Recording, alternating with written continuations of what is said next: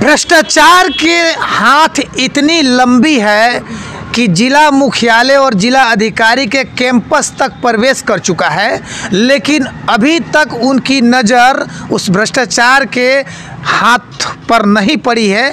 लेकिन लोक चेतना दल, जो एक राजनीतिक दल के रूप में सामाजिक समस्याओं को बार बार अपने समय अनुसार उठाती आ रही है, उसके प्रदेश अध्यक्ष, एक महिला जो है, धनवंती देवी लगभग 25 सूत्री मांगों को लेकर इस कड़ाके के ठंडी में, जहाँ पर जिला अधिकारी मुजफ्फरपुर भी कार्यालय में प्रवेश करने से कतराते हो, ऐसी स्थिति में भी उन्हीं के द्वार पर इंसाफ दिलवाने के लिए मुजफ्फरपुर के लगभग 20 लाख आबादी को इंसाफ दिलाने के लिए एक महिला जो है अनिश्चितकालीन आमरण अनशन पर बैठ चुकी हैं। सवाल तब खड़ा होता है कि भ्रष्टाचार यदि ग्रामीण एरिया में दिख रहा हो तो जिला अधिकारी का नज़र उन पर नहीं जा सकती, क्योंकि पर्दा डालने वाले वहाँ पर बहुत सारे लोग हो सकते हैं।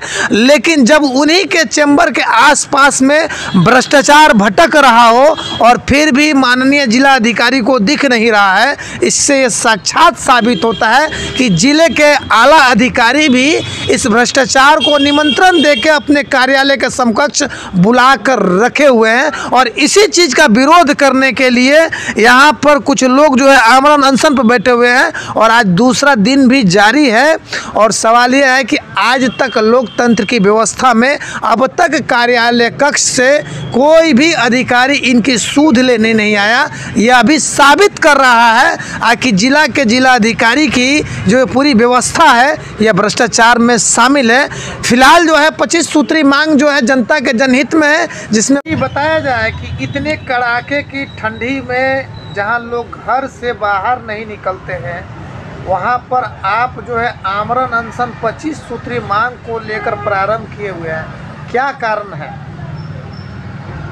कारण है कि बार बार आवेदन जिला अधिकारी महोदय के दिए हैं हाँ। और कार्रवाई नहीं किए हैं। भ्रष्टाचार इतना ल- अंतिम चरण पर आ गया है कि मजबूरन में जो है ठंड के मौसम में भी अनशन पर हमको रहना पड़ा है रह रहे हैं। जी बताया जाइए अनशन का जो उद्देश्य है उद्देश्य क्या है? अनशन का उद्देश्य है भ्रष्टाचार को रोकना। जी।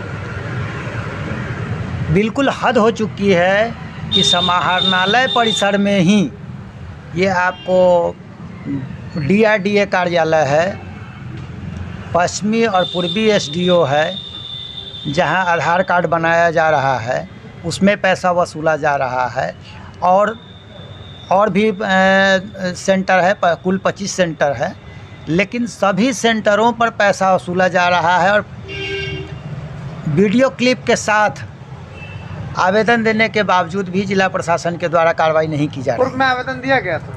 बार बार दिया गया है। और आपको जिला के परिसर में जो निर्माण कार्य हुए हैं नाले का सड़क का उसमें काफ़ी गड़बड़ी है। उसके संबंध में भी आवेदन देने के बावजूद भी इस पर कार्रवाई नहीं हुआ है। जब समाहरणालय परिसर के गड़बड़ी पर कार्रवाई नहीं होगी तो कहाँ पर जिलाधिकारी महोदय किस विषय पर कार्रवाई करेंगे? आ, मांग पूरी नहीं हुई तो क्या होगा? आमरण अनशन जारी रहेगा तथा अन्य तरीकों का विरोध भी जारी होगा। पर्चा बताया जाए। संजीव कुमार झा राष्ट्रीय अध्यक्ष लोक चेतना दल कुछ भी करवाना उसके लिए। आपके आधार से उसका डेट ऑफ़ बर्थ में क्या आधार कार्ड बनवाना है। मेरा। आपका? हाँ। सुधार करवाना। है।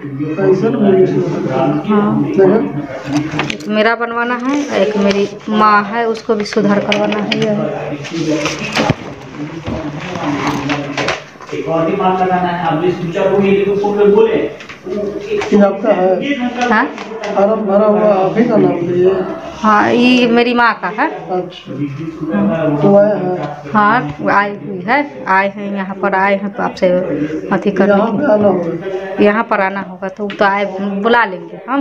आपका? आधार का आधार अच्छा उनका पहले बना दीजिए ना तो हम अपना बनवाएँगे। इसमें क्या खर्च लगता है क्या अथी आप आए हुए जो आपको न बनवा के उसको बना दें। जो भी देखिए उनको अभी जो तत्काल में है वृद्धा पेंशन वाला में देना है। यहाँ लेके आइए। हाँ। ऐसे बन जाएगा। ना उनको बाज़ार में आई हुई है। ऐसे हम आए हैं आपसे बात करने। कि, क्या इसमें क्या खर्च लगता है? आधार कार्ड बनवाना है। क्या क्या प्रूफ लगेगा? दस बरस से पंद्रह बरस के बच्चे का। दस बरस से नीचे वाला को जन्म प्रमाण पत्र और दस से ऊपर वाला के स्कूल से लिखवा और लागत? हाँ?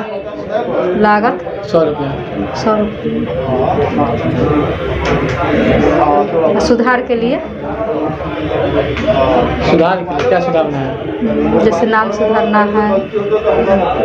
इसमें सा होगा सहनी सहनी। सहनी सहनी सहनी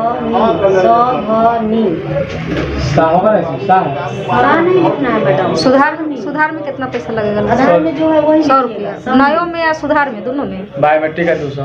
बाद बाकी सब कुछ हाँ सिर्फ़ बारह चेंज करना आधार निकलवाने के लिए।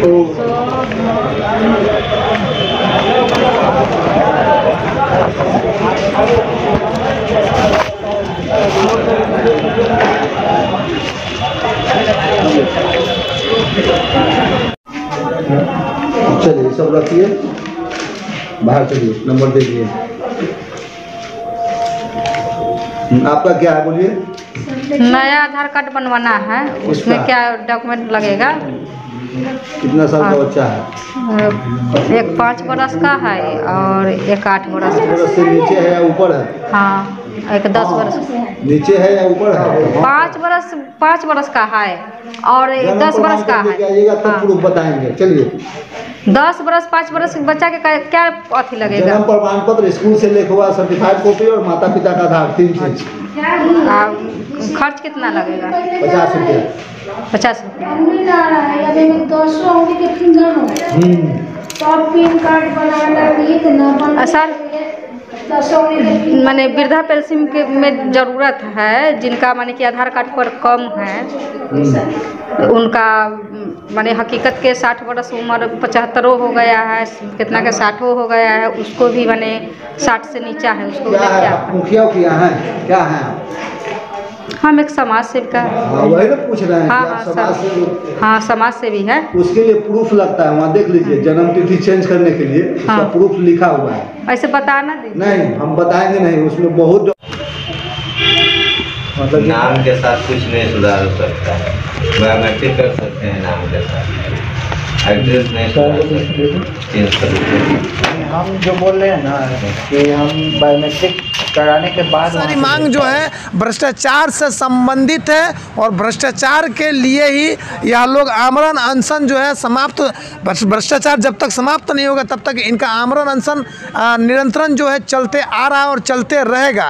किंतु सवाल ये खड़ा होता है कि आखिर ये भ्रष्टाचार बढ़ता कैसे है और इस पर आवाज़ उठाएगा कौन? और आवाज़ उठाएगा तो कार्रवाई करेगा कौन? और आखिर इसका जिम्मेवार व्यक्ति कौन है? और ऐसे जो लोग हैं, उन पर कार्रवाई क्यों नहीं होती है? और कार्रवाई कौन करेगा? यह तो परिस्थिति तय करेगा। फ़िलहाल जो है, इस कड़ाके के ठंडी में लोक चेतना दल के जो कर्मठ महिला पदाधिकारी हैं वो अम- अनिश्चितकालीन आमरण अनशन पर बैठ चुकी हैं और अपनी मांगों को मंगवाने के लिए मैं दर्शकों से कहूँगा कि आप इनके बयान को सुने और खबर को लाइक करें और अधिक से अधिक शेयर करें कि गूँगी बहरी अंधी सरकार के कानों तक यह खबर पहुँच जाए। ग्राउंड रिपोर्टिंग पर जी न्यूज़ बिहार, धर्मचंद यादव।